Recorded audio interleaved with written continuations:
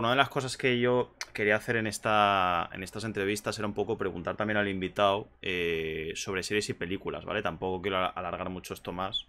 Eh, tampoco está aquí cinco horas, pero que estamos muy a gusto hablando, ¿no? Pero sí que quería en esta última parte, ¿no? Preguntarte un poco sobre series y películas, ¿no? En plan, eh, la típica de qué serie, ¿no? Le recomendarías a la gente. ¿Qué serie le recomendarías a la gente? En plan, es que me encanta. es la típica que dices, Buah, es que Friends la podría ver mil veces.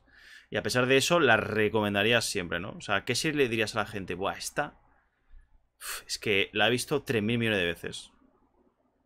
Y te la recomiendo, vamos, a muerte. Es que yo amo Friends, pero no se la puedo recomendar a cualquiera porque un centennial que tiene 17 años no sé si la va a disfrutar como la disfruté yo. Fue, fue trending, ¿eh? Friends hace un año, ¿no? Creo que fue. O... Sí, pero debe haber sido todos millennials. O cuando lo puso en HBO Max, creo. Que era, que era, que era trending. Yo no. Yo creo que Friends es como un, gusto nostálgico que tenemos varios. No sé si es una serie que le puedo recomendar a todo el mundo. Seguro, hombre, está clarísimo. Eh, serie que le puedo recomendar a la gente que no, que. Que vos decís, fa, qué buena serie, qué buen gusto culposo, que, qué buena consumo. Yo creo que Dark es una serie que no me voy a cansar de recomendar nunca. Por más de que no sea la serie que más disfruté en toda mi vida. Es una serie que.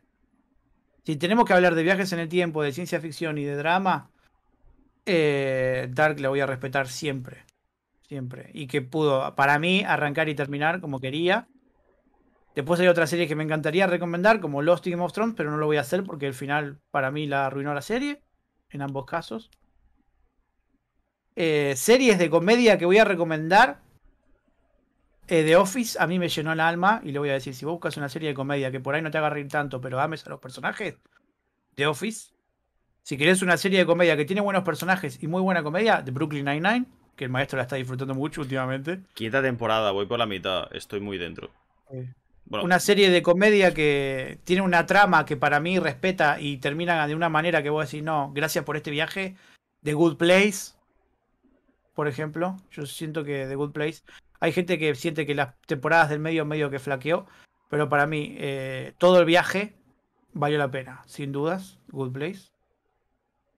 Eh, seguro me estoy olvidando. Bueno, universo Breaking Bad, Better Call Saul, El Camino, no puedo no recomendarlo imposible no recomendarlo. Pero ya siento que te estoy recomendando algo que ya escuchaste alguna vez. ¿Entendés? Ah, pero hay gente que no lo banca, por ejemplo. Mejor. Sí, está bien, pero, pero ya está la gente que la vio y la banca y la gente que la vio y no la banca o no la quiere ver. O sea, es muy poca la gente que consume series y no escuchó hablar de Breaking Bad. Por lo menos. Es como recomendarla es raro. Y. ¿Qué más se me viene a la cabeza? ¿Alguna que te haya marcado que dices, Buah, esta es. O sea, con esta serie eh, no sé, cambió mi percepción de algo de la vida o, o yo qué sé, o me marcó desde siempre, ¿no? La típica que dices, Buah, es que bueno, eh, series que me marcaron a mí, bueno, de la infancia miles, porque veía un montón. Pero que me hayan marcado, marcado, eh, Friends me marcó en una época, The Office me marcó en adulto. Lost en su momento me hizo enamorarme de las series. Y Game of Thrones también las dos me hicieron enamorarme de, de la serie y me marcaron mucho. Pero como dije, no las puedo recomendar. Game of Thrones, Lost y Friends me cuesta recomendarlas por diferentes motivos. The Office sí la puedo recomendar. Y no me voy a cansar de hacerlo. Pero el tema es que sí, son muchas series de comedia que recomiendo porque son las, las más recomendables. Y. Y a veces las que más consumo, pero no, no hago tantos videos de ellas. Porque tampoco se puede hablar mucho de una serie de comedia, ¿no? Y se podría hacer. Sí, porque la, comedia, como es tan subjetiva, ¿no? Al final es como que, bueno, a lo mejor a ti te parece gracioso esto. O sea, por ejemplo, a mí a Brooklyn Nine-Nine me está encantando. O sea, no solo por los personajes, sino por la trama en sí. Que sí que es cierto que, a ver, lo típico, ¿no? Que hay tramas que se solucionan como muy, vale, de pronto ya está, se acabó. Pero es una serie que a mí me gusta mucho que cada capítulo sea un caso a resolver. Y tengo que decir que me sorprende mucho que me haya encariñado tanto con los personajes. ¿Viste? Me sorprende. Sí, es que la serie de comedia lo que tienen es eso. Si están bien los personajes, la serie no hace más que crecer o mantenerse. Claro, porque, o sea, me pasó cuando la empecé que. No sé por qué vi a Jake como que. Mm, espero que no te hagas insoportable, ¿sabes? Y ahora es como que le veo y digo. Quiero ser él. Me encanta, me encanta este tipo, me encanta. O sea, me cae súper bien, me veo súper reflejado en muchas cosas. Y, y además es un tipo que a mí, a mí, ¿eh? A mí no me molesta. Y creo que todos los personajes, además, es una- o sea, a mí cuando las series de tantos personajes lo respetan, ¿sabes? En el sentido de que no ves que uno sume más que otro, que sí que es cierto que hay algunos más importantes, sí, pero me refiero como que todos aportan, ¿sabes? Eh, no sé, me da la sensación esa de que en Brooklyn Nine-Nine pasa como en The Office, ¿no? Que sí, que están Dwight, que está Michael, que está eh, Jim y tal, pero... Pero todos tienen su momento, ¿sabes? Si no es en este capítulo, es en el siguiente y ya está. O sea, con eso es suficiente. Y en Brooklyn pasa lo mismo.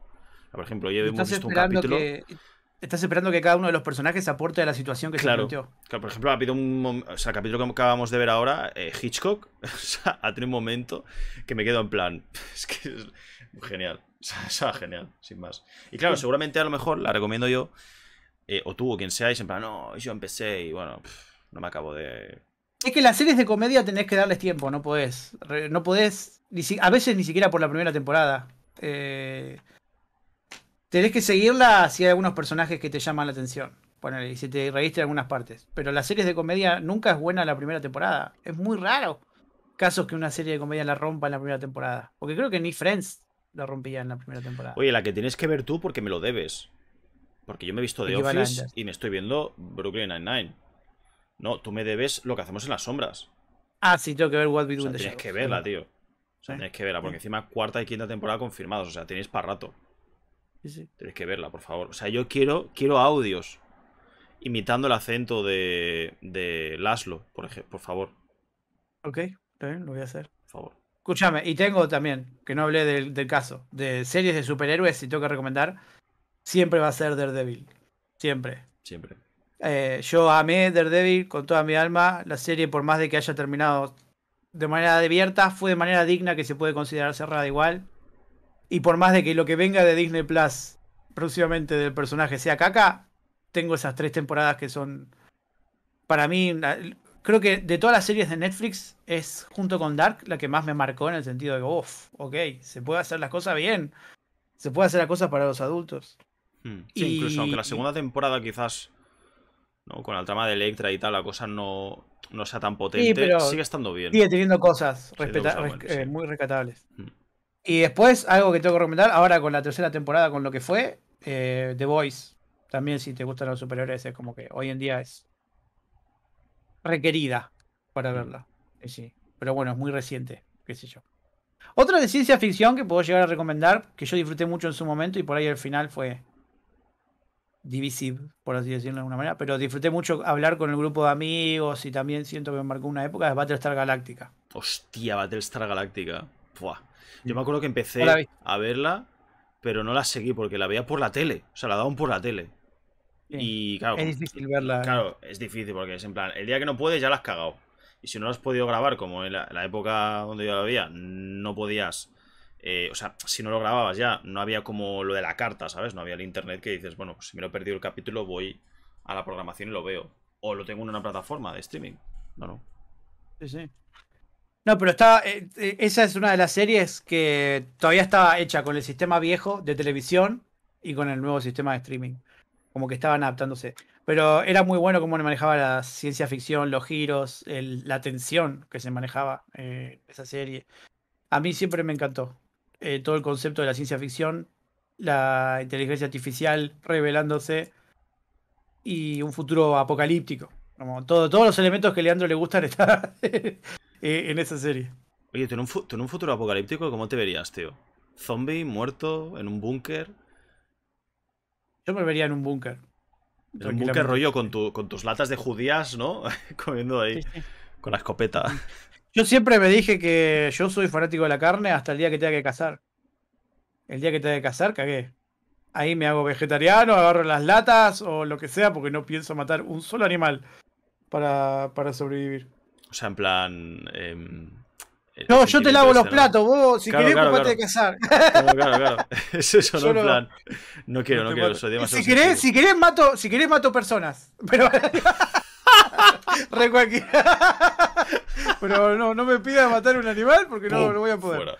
Sí, sí, sí. Todo- ¿Qué? ¿Él se portó mal? ¿Él, él robó? ¿Mató? ¿Violó a alguien? Bueno, yo lo mato. Puf, listo, ya está. Ay, Porque ya mor- sé que hizo algo malo. Me arrancó el dedo el perro. No, no pasa nada, bonito. No pasa nada. sin querer, ¿no? es que a mí me haces tú, hijo de puta, que te mato, ¿eh? Te mato. Sí, ¿eh? sí. Eso, eso, Obviamente que eh, hay tú- que vivir la experiencia para decir. Pero Claro. ahora te digo eso. Sus